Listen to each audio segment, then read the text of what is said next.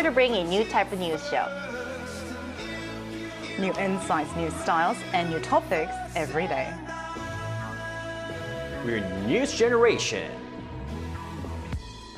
Bring news just for you. It's Wednesday, August 14th here in Seoul. I'm Song Jin, and you're watching News Generation. Today we're joined by Cheska Dayan Happy Wednesday, everyone! Happy Hump Day! Yay!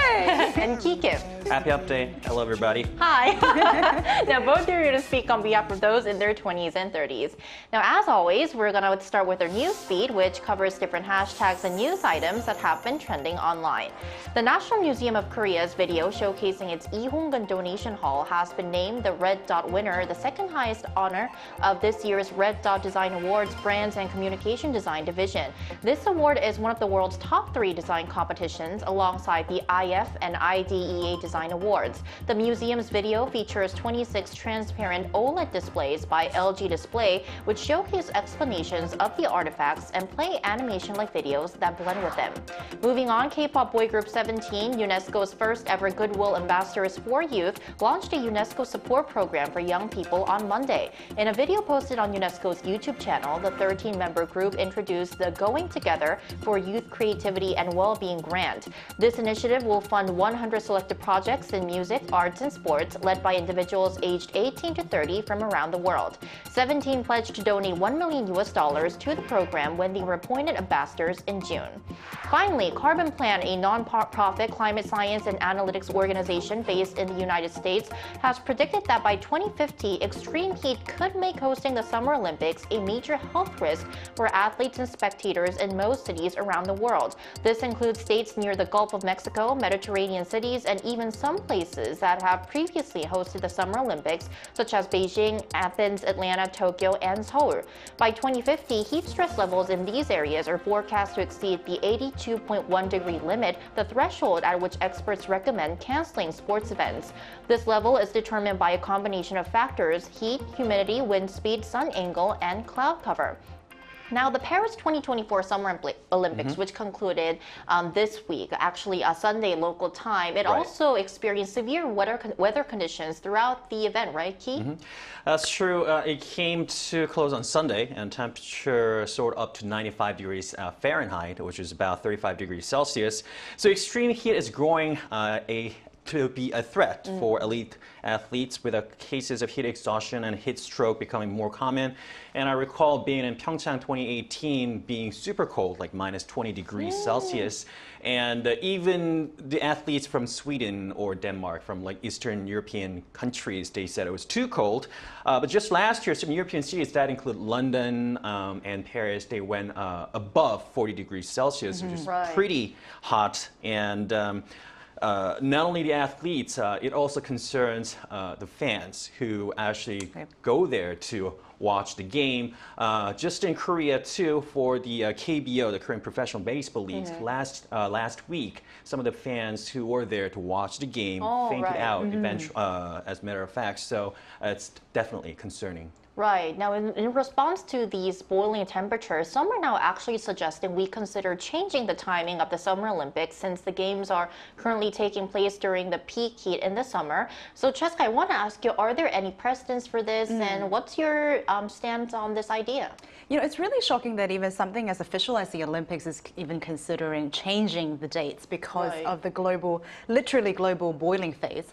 I mean, it was announced since last year from the United Nations that now we have transitioned from global warming to a literal global boiling phase, and an official announcement has been made. And we unfortunately do have a couple of precedents that have taken place, including the Sydney Olympics as well as the 2016 Rio Olympics that took place in August, and the Sydney moving to September and October.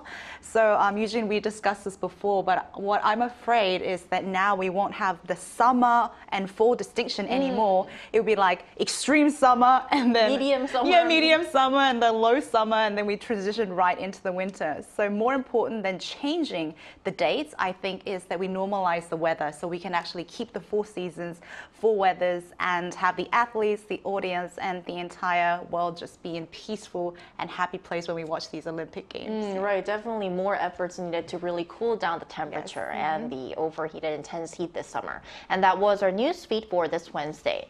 So we're now going to move on to our main discussion of the day by taking a look at the screen. Today is Malbok, known as the last of the three hottest days of the year on Korea's traditional seasonal calendar. As temperatures continue to break records this summer, many people are struggling, with heat-related illnesses on the rise. In response to this intense heat, there's a long-standing tradition in Korea of eating boyangshik, or body nourishing summer health food on these three hottest days to help cope with the heat. Today, we're going to take a look at the latest trends in Korea's boyangshik culture. Right, so as just shown, today is Malbok here in Korea. So starting off, for those who might not be familiar with Malbok Day's Boyangshik tradition, Ki, can you tell us some of the most common dishes that people in Korea have and why? Well, just looking at the screen just makes me uh, my mouth water. Of course, uh, mostly cooked, uh, mostly mostly uh, eaten food normally be uh, samgyetang chicken soup or 장어구이 broiled eel or haeshintang is a new trend. That's a stew with octopus, abalone, uh, beef ribs, or sometimes you would eat something very spicy for your stamina. And in Korea, we have this word saying 이열치열, meaning you win the heat uh, with the heat. Right. And uh, uh, to be immune with this hot weather and everything. And after having hot food and sweating it out, we all feel refreshed. And it's not necessarily a superstition or necessarily scientifically proven, but you do feel refreshed and uh, charged up after having these meals. Right. So here in Korea, um, on Malbok or the three Bok days, we tend to have uh, meat or we normally have meat or fish based uh, hot dishes. Uh, that's kind of like the Malbok food culture or food tradition here in the country. Now, Cheska, I want to ask you, as today is Malbok, Yes. how are you planning to spend Malbok? Are you also planning to have the classic samgyetang, Yeah. chicken soup, or are you looking for something else? Oh, you know, I initially did because I really love the samgyetang soup because they brew it with the Korean's traditional herbs. Right, and the has- medicinal. Yeah, and it has a medicinal effect, and you know, it really, really recharges you. And there's a chewy rice that is embedded in the process. You seem really excited. I am excited. but out of curiosity, I wondered if there were vegan or vegetarian options for the people out there to refuel during these hot and exhaustive phases. So as an MZer, I did the Googling and was able to find a list of vegetarian recipes for 봄날. Ooh. And there was actually a lot. Uh, there's a cold noodle with bean paste, kongguksu, we all know of. Oh. And there's an interesting thing called chaegejang, which is also a menu that is promoted by the Buddhist Korean temple Mm-hmm. that replaces meat with veggies and mushrooms. But- Inside a soup, you- right? Yes, inside the soup. And it's a bit hot and it's a bit spicy. So as Ki said, it's 이열치열. Mm. We Koreans like to have hot food during the hot summer.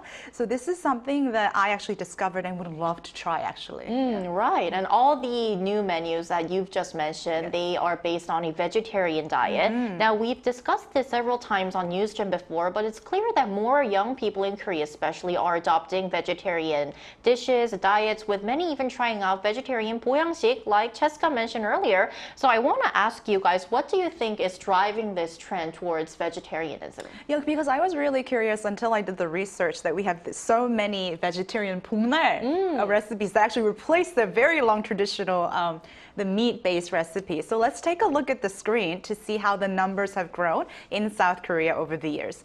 Now, according to South Korea's Vegan Union, just between 2008 and 2019, vegan population jumped by 10 times, wow. which is huge because since then the number have been consistently growing.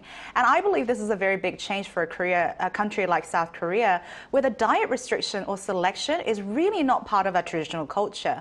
We're, we are definitely vegetarian based, but we do add a lot of meat to our, our you know, staple diet. So I think it definitely has more to do with our generation's characteristic of trying to be conscientious of our choices and purchase. And usually we discuss a couple of times here about the concept of like meaning out or conscious consumption.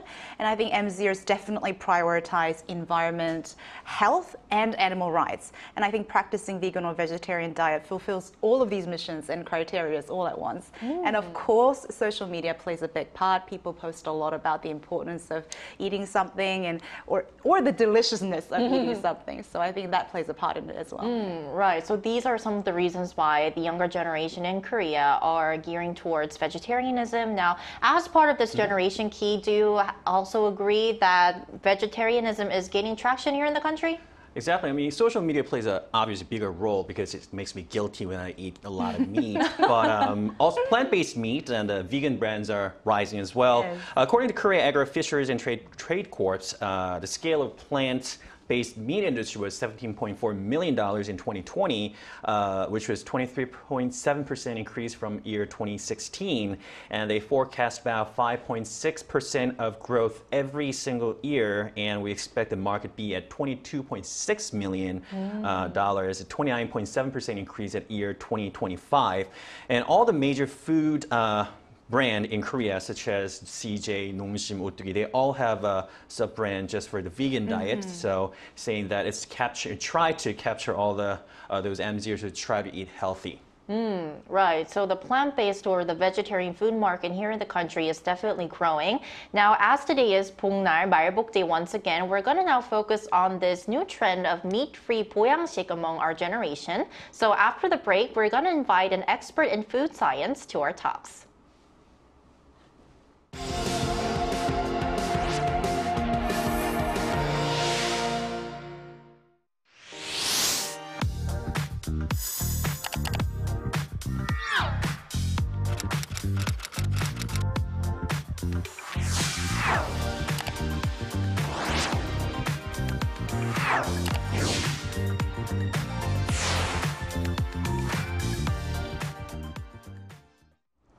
So today we're joined by David Julian McClements, Distinguished Professor at the University of Massachusetts Department of Food Science. Welcome, Professor McClements, to the show.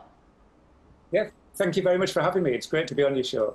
Lovely to have you. So our first question for you, Professor, is why is it important to have nutritious meals that are often called boyang here in Korea during the summertime?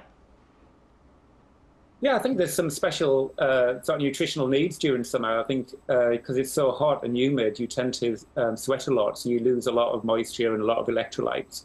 So it's really important to replace those. Uh, and you also want to eat sort of quite light meals because if you have heavy meals, you you uh, generate a lot of heat when you're digesting the food. So you know, eating a lot of salads and um, things like that is, is really good. You know, I think there's an ongoing sort of interesting debate back and forth between people who practice vegetarian diets and people who eat meat-based diet about whether they can offer the same level of nourishment. What is your point on that? And if possible, do you think a vegetarian diet can offer the same amount of nutrition and nutrition needs that a meat-based diet could? Yeah, I think it's a really good question. I think uh, that there's bad vegetarian diets and there's good very vegetarian diets, just like there is for you know people who eat meat. You can have good diets or bad diets. So it's really um, you know like if you eat um, vegetables, you can uh, lose some uh, valuable vitamins and minerals and proteins and omega-3 fatty acids. So you do have to be a little bit more careful when you're having a vegetarian diet. Um, but I think you can do it. You can eat healthily. And that's a lot of my students and postdocs are working in that area, trying to make the next generation of uh, healthy plant-based foods. Uh, so, Professor, so with more people choosing to be a vegetarian or choosing a vegetarian diet these days, what are some of the summer healthy foods or summer health foods you would recommend us to keep us energized uh, during this intense heat? Yeah, well, I think uh, it sounds like it's very hot and humid there. It's very nice and cool here, so um, we- we're not do that. But uh, yeah, I think a lot of salads would be good. You know, things that have got a high moisture content and that are quite easy to digest. So things like you know watermelon, uh, sort of cucumbers, uh, uh, different kinds of salads. And I was really interested to learn about all these uh, really unique foods that you have in Korea. I'd never heard of them before. Uh, but I do, you know, if you do eat spicy foods, it does cause you to sweat, and that's the best way of cooling down. So I think that's really fascinating. And I think it's an area that we may have to do more research on in the future because of global warming. We, we might need these specialized foods that can help you stay cool. Well, Professor McClements, I hope you get a chance to try out Korea's Yes. uh, summer health food sometime in the future. But thank you so much for love- your time today. Yeah, well, thanks very much for having me on. thank you. Thank you. Thank you. Right, so we're now going to expand our discussion. We're going to take a look at some of the summer health foods that are popular in other parts of the world. We also asked our viewers some of the popular summer health foods in their country, and here's what three of them said. User RD9BQ2HC90, a very long name, says our country is almost always hot, so there is no food exclusively eaten when it's hot, but there are a few foods to avoid when it's hot. Wesley Fortney BQ4QT says on a hot day, a salad of lettuce and vegetables with a couple of cold sandwiches sandwiches is great. In America, a cold drink is common lemonade, iced tea, beer, frozen cocktails. Other common cold dishes are egg salad, potato salad, tuna salad, fresh vegetables. Ice cream is always good, plus some fresh watermelon. Leon Tail 93 says Singaporeans tend to gravitate towards lighter and refreshing food options during hot and humid weather, for example, soup or broths or ice based desserts such as chendol or ice kacang. For health food, Chinese herbal soups are popular, like, for example, ginseng chicken soup.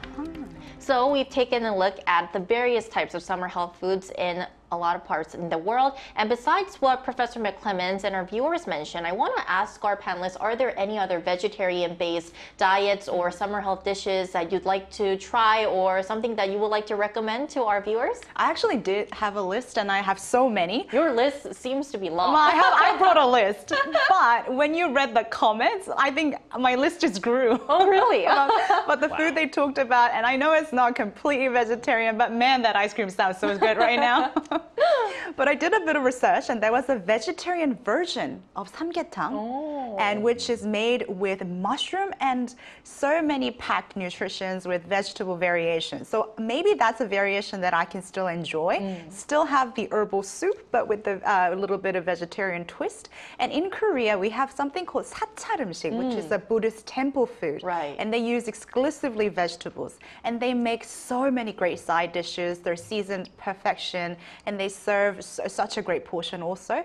And I saw some of the photos on Instagram, and I actually might actually consider visiting a couple of these places because they literally made me salivate, and I'm really happy just talking about them. you really seem to be happy. So yes. if you visit one of these places, please share how your experience was here on will. NewsGen yes, for us and our viewers as mm -hmm. well. Mm-hmm. I'll share it in our group chat. Great. now, Ki, is yes. there any other dish? Are there any other dishes that you'd like to add on this long list already? nope. Actually, I'm, I'm, I'm, more like a cook. You know, I cook a lot of food at home, mm. and I'm more of a meat person. But uh, when I'm on a diet, as always, it's mm. the summer, uh, I eat a lot of tofu because uh, ah, tofu yes. can be a really good right. uh, food for the meat. Yes. Uh, and they have a lot of different kinds of tofu. And uh, Cheska has actually mentioned kongguksu, the cold bean soup. Mm -hmm. but you can use this dried uh, tofu noodle, we uh, instead of actual oh, uh, right, noodle, right. and then you can use this for a lot of different sorts of pasta. And the 들깨 두부탕 is one of oh, my absolute favorite. That's bean curd perilla uh, seed soup. Mm -hmm. That's mm-hmm. really great for you. It's really filling, um, you know, uh, and it's really great for your health as well because it doesn't really have meat in it, mm -hmm. but it's really filling your stomach mm -hmm. and uh, you know as a great taste. Right, and mm. beans have a lot of proteins, right? Exactly. Packed exactly. right. Yeah. I'm gonna write all that down. Calories. Yeah. Oh, right, less calories. Less so calories. very healthy. Yeah. Mm-hmm. and once again, um, before we wrap up, Korea's boyangshik or summer health food tradition is all about enduring and overcoming the summer heat. Mm -hmm. So last but not least, do you guys have any tips that you'd like to share with our viewers to stay healthy and if possible, cool throughout the rest of the summer because we have a long way to go. I know, and I'm still struggling. So if there were some tips that I actually did research. I should it should be applied to me. um, but when I did the research for today, the pungnal, the pork, mm. actually means you're literally collapsed. Mm. So what they mm. meant when they said pungnal traditionally means people were collapsed by the heat. So to get back up, a lot of traditional Korean medicine talk about the imp importance of preserving your energy mm -hmm. and immune system. And so far, mine has been about you know really loading up with vitamin C because -hmm. as important it is to sweat to um, take the heat out. When you sweat, a lot of your minerals and right. nutri nutrients gets released. So a lot of lemon water. And this was recommended in a lot of different uh, medical magazines sleep. Oh, Because when it comes to summer, the first thing that gets disturbed is the sleep. right, quality sleep. Yep, because we have the heat, and then even when you have the AC on, as we talked about, you keep waking up to turn it on, turn it off, and even the cold, you know, breeze doesn't really give you a good quality sleep. So for entire cycle, I think one of the things that I should do also is to make sure that I have quality sleep. Yeah. Mm, right. What about you, Ki? Well, uh, I'm more of a couch potato guy, so I'd rather play video games at home with a nicely air conditioned room. But uh, nowadays, what I do is at night when everything cools down just a little bit, when it's a bearable weather, I go to Han River, Hangang River Oh. Park, and I play some basketball. Uh, when you really good. sweat out, uh, you feel refreshed, and you come home and you sleep well. And also, um, I sometimes play drums. You know, I have an electric drum set at home, but there's a lot of um, drum studios where you can go to smash that stress out That's and relieve one. from the heat. You know, you'll be having a lot of fun. Mm, Right. So trying out your hobbies, working out, having quality sleep, having a lot of supplements such as vitamin C's, and also don't forget to have some summer health food to stay healthy during this summer. Mm-hmm. And that's all from us today. But NewsGen will be back on Friday at 9:30 a.m. Korea time, as tomorrow is National Liberation Day in Korea, a national holiday. Special thanks today to Cheska Dainhong Pleasure's always mine. Thank you. and Ki Kim. Thank you. And thank you everyone for watching, and we'll see you on Friday. We are News, News Generation. Generation.